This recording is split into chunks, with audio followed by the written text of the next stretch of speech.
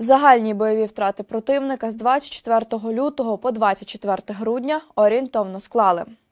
Особового складу близько 101 тисячі 430 осіб ліквідовано.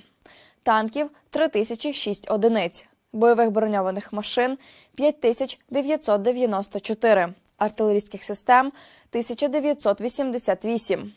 РСЗВ 418. Засобів ППО 212. Літаків 283. Гелікоптерів 267. Автомобільної техніки та автоцистерн 4627. Кораблів та катерів 16. БПЛА оперативно-тактичного рівня 1706. Крилатих ракет 653. Спеціальної техніки 178. Дані уточнюються.